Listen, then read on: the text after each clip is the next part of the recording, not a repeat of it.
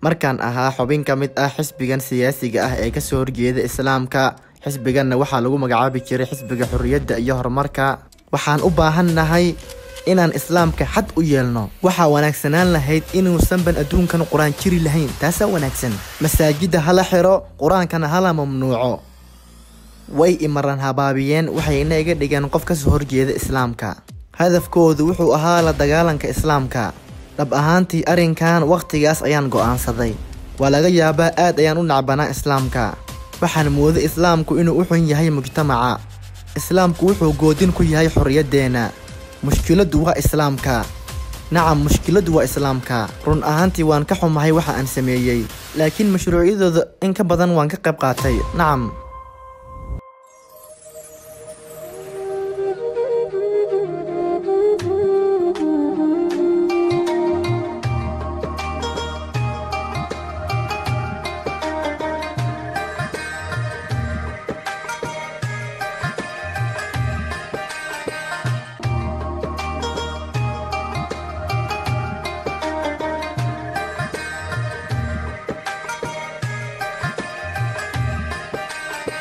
asalaamu calaykum walaalkay. Waad ku mahadsan tahay imaanshahaaga waxaan doonaya inaan ogaado marka hore waa kuma arnold fandor wacalaykum assalaam waad ku mahadsantihiin waan ku faraxsan inaan halkan joogo. Magacaygu waa arnold fandor da-deedu waa konton lix sano jir. Waxaan ahay muslim alxamdulilah toban iyo saddex sano. Waxaan ku dhashay oon ku barbaaray hollanda. Waxaan ahaa christian. Waxaan ku barbaaray masiixinimada iyo christiyaanka waxaan ahaa xubin ka mid ah xisbiga siyaasadeed ee hollanda kaasoo ka soo horjeeda islaamka kaasoo lagu magacaabo xisbiga horumarka iyo xorriyadda laakiin islaamka ayaan soo galay sanadii laba kun iyo tobankii alxamdulilah istambuulna waxaan u joogaa dacwad faafinta. Waxay wadaan mashruuc ah inay faafiyaan diinta islaamka kaasoo lagu faafinayo islaamka si u soo gala nin ka badan dad islaam ah.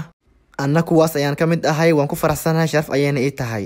Kulankaana waan ku faraxsanahay. Ee noloshaadu sidee bay ahayd? Maxaad aaminsanayd? Waxaan ku barbaaray kiristiyaanka waxaan dhigan jiray madrasad kathoolig ah. Waxaan ku dhex jiray waxyaabo badan oo ka mid a kathooligiyada aabbahay wuxuu ahaa christian kiniisadda ayaan aadi jiray axad walba laakiin ma aan dareemin xaqiiqadii raaxo fiican.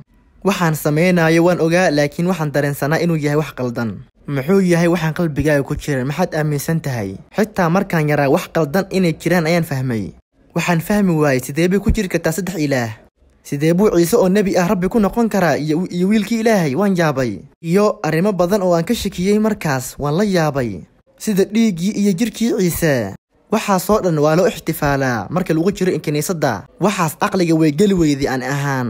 Waan sharxi kari waayey waayo aad ayaan u yaraa.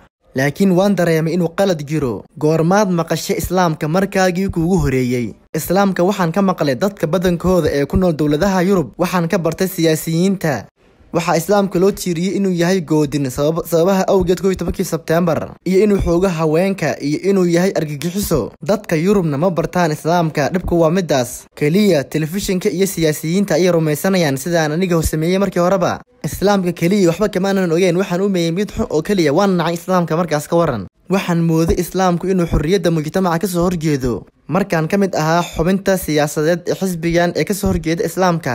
Xisbigan oo lagu magacaabo xisbiga horumarka iyo xorriyadda wuxuu ka soo horjeeda islaamka wuxuuna ahaa inuu la dagaalamo islaamka ayuu doonayay.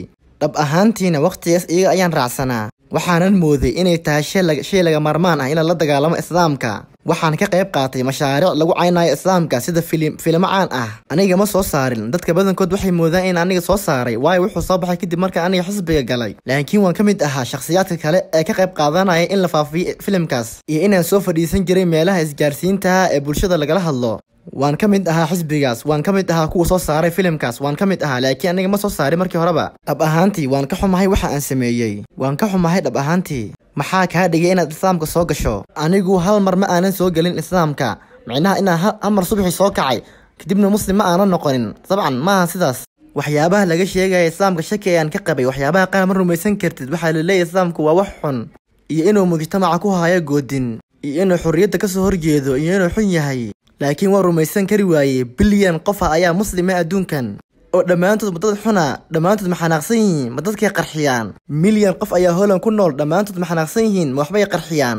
Iyo waxaan aqaanaa dad badanoo muslima wanaagsan saalixiin ah waan aqaanaa. Waxayna igu dhaheen baro islaamka waayo afkaartaadu way qaldan yihiin islaamka baro. Haa waxaan bilaabay inaan islaamka barto qur'aanka inaan akhriyo. Waxaan aaday masaajidda waxaan la hadlay culammada muslimiinta haddana waxaan aaday maktabadda waxaan baaray islaamka. Qofku mar walbuu sii barta islaamka wuxuu ogaanayaa waxa laga sheegaya inay qalad yihiin.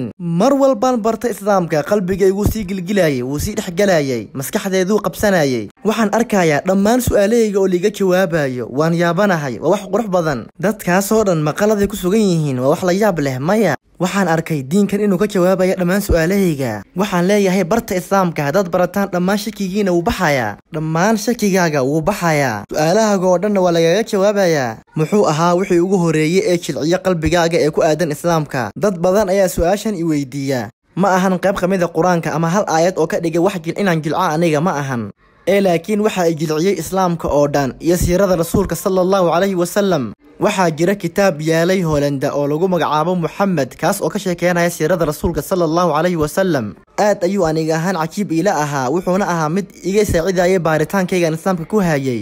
Wuxuu ii dejiyey inaan barto islaamka welibana si degan waxaan arkayaa inay tahay mid wax saameynaysa waxaanan go'aanku gaaray wax walba inaan barto been ha noqoto ama run ha noqoto. Maskaxdaydaa la dhaqay axaadiista masaajidda lagu akhrinayana la yaab ayay la ahaayeen. Ra'yi ahaantayda way qaldanayeen waayo mar walba oo aan islaamka sii barto waaba mar walba oo maskaxdayda ay sii furmato welibana caqli wanaagsan ayaan islaamka ku baarayay arrinka waad jeclaanaysaa markaad ku baranayso qalbi wanaagsan iyo maskax furan. Marka xaqiiqada ma inkiri kartid kadib safar dheer oo aanan ahayn islaam waxaan doonayay inaan noqdo islaam inaan muslimana hal sanno ayay igu qaadatay.